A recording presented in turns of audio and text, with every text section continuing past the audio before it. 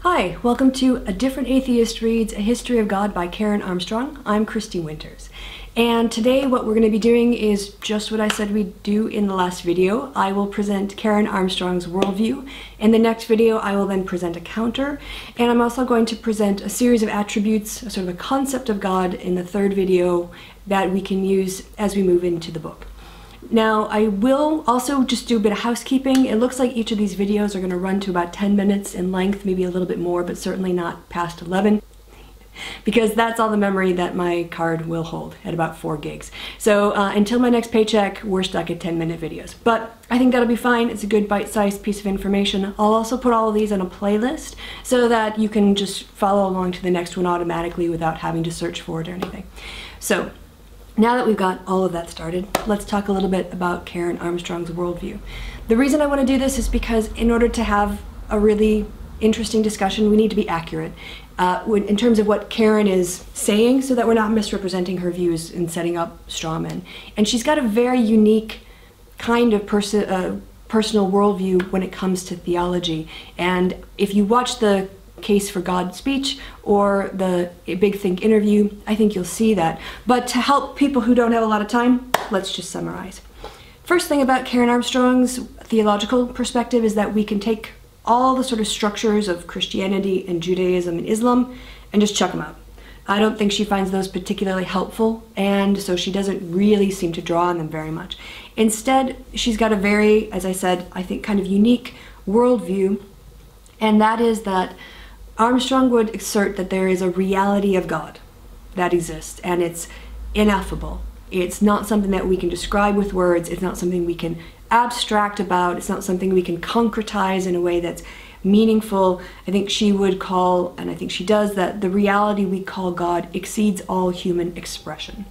So Armstrong really rejects the idea that God can somehow be conceptualized and abstracted in that I would say if you try to give a whole list of attributes of God, you know, omniscience, om, omniscience, omnibenevolence, um, all these kinds of omnis, that she would a bit would resist those not because she doesn't think that they necessarily describe the reality of God, but because they tend to put God in a bit of a conceptual linguistic box.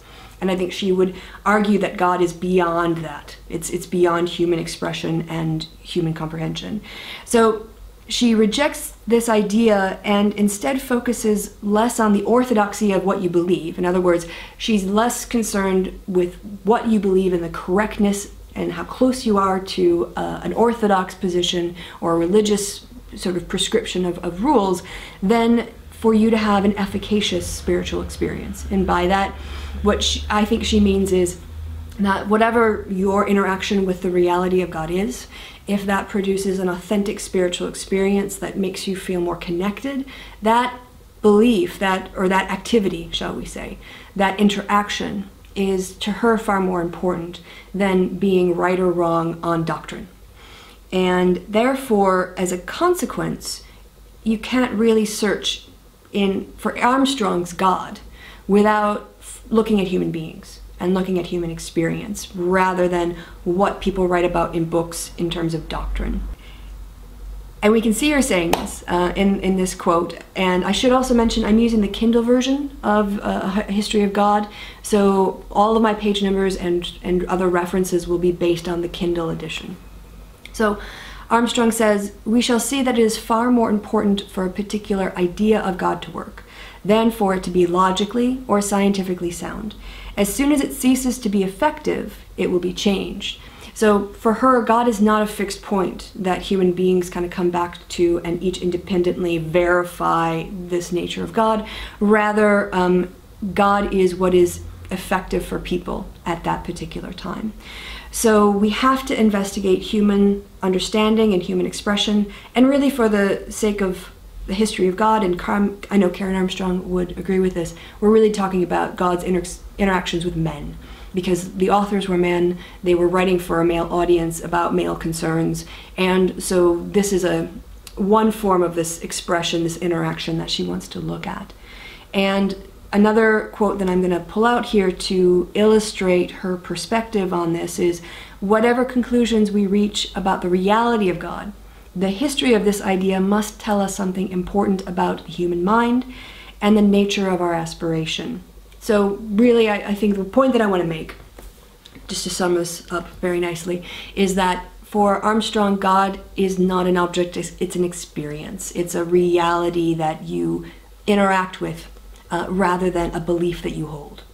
And the other two things that I really want to highlight and in order to draw uh, both distinctions and a clarification between Karen's theological worldview and perhaps what we would term traditional religious beliefs is uh, that it comes from the Big Think interview that I've linked in the description that in the first section of it where she's discussing important religious ideas and she mentions two that I think provide a pretty good insight as we move forward in the book. The one was a discussion about her interactions with Jewish rabbis and their perspective on God as an iterative, ongoing process. And I'll just quote from her at minute, um, sorry, at second 40 um, in that Big Think interview. And this is her quoting from the inspiration of, of Jewish rabbis. There is never a last word on God. Even God can be questioned, and you can keep arguing with one another, and there will be no end to this conversation about the divine because no human expression of God can be ultimate. And I know that this is something that rings true from, for Karen Armstrong because of how passionately she spoke about it uh, when she was doing that interview. And I want to combine that comment with another one she makes closer to the end of the segment, where she's talking about the pluralism that she found in the Sufi tradition of Islam and the tolerance of different people's religious experiences, um, and that again, experience being the focus of authenticity rather than focusing on the correctness of beliefs. She quotes from Ibn Arabi, a 12th slash 13th century Sufi mystic, who said, Do not praise your own faith exclusively so that you disbelieve all the rest. If you do this, you will miss much good. Nay, you will miss the whole truth of the matter. God, the omniscient, the omnipresent, cannot be confined to any one creed. For he says in the Quran, Wheresoever ye turn, there is the face of Allah. So Karen, I think, combines this sort of iterative, ongoing, falling forward, almost dynamic experience of God as a reality that she found in the Jewish tradition and a, a, radical plurality of acceptance in terms of religious experience that she finds in the Sufi tradition. And I think if we have a better understanding that this is the perspective she's coming from, the book will make a lot more sense.